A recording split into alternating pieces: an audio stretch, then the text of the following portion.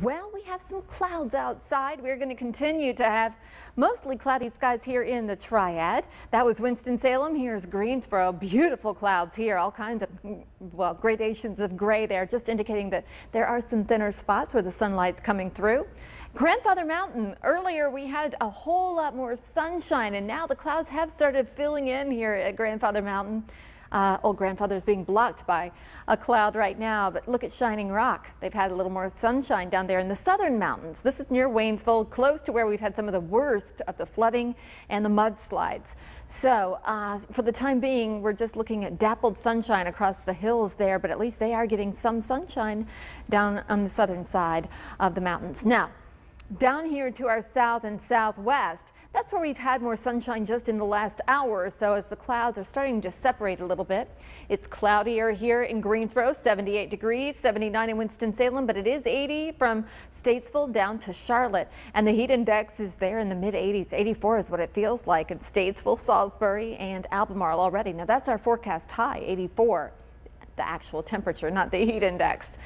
So as the clouds are starting to break apart just a little bit, we're going to keep high clouds over our skies, but a little sunshine coming through there is going to help to heat us up pretty rapidly. And once that occurs, you see these showers and thunderstorms just crossing the crest of the Blue Ridge.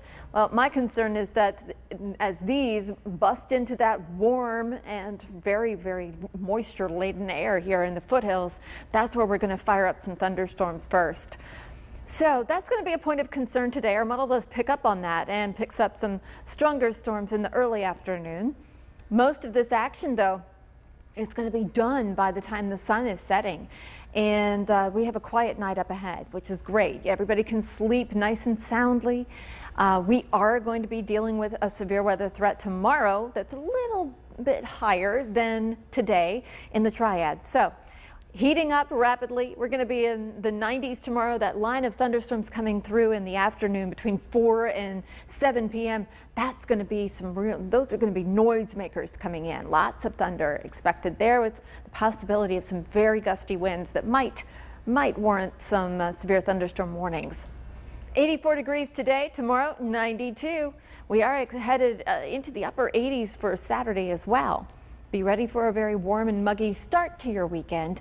A cold front will be coming through though, and that's going to help to lower the humidity and the temperatures as we get into the beginning of the week.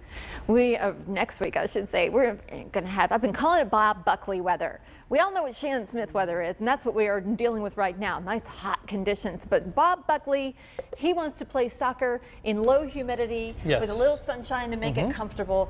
Bob, Tuesday and Wednesday are your days. We're going to be in the um, mid 70s. Okay. Well, we'll probably bike ride those days because nah. our games are on Sunday. But we like to have sunshine for what we call snacks afterward.